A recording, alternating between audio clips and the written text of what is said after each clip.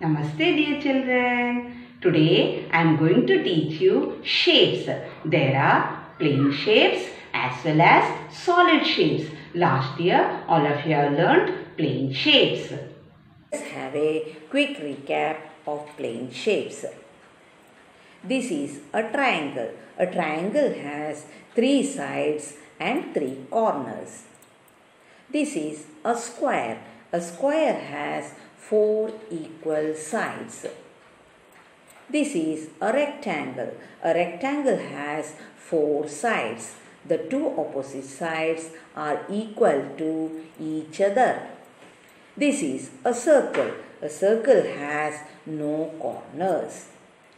Now let us learn solid shapes. The first solid shape shown here is a cube. A cube has six square faces.